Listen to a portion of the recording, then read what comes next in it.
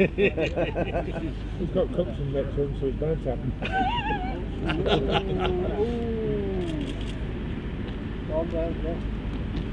Oh, my manhandle's going hard.